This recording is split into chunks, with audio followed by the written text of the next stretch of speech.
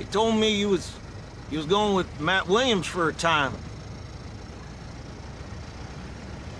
You talk too much. Oh, I don't talk too much. Just thinking who I gotta beat in this horse race, that's all. I didn't realize this was a race. I don't care for watching horses. Well, I'm a different kind of horse. Onkasi. Shomikasi Shekoshiajmi. Oh. What was that? Shomikasi. That's how you are. I don't know what she said, but it must have been Indian for handsome devil. Shit.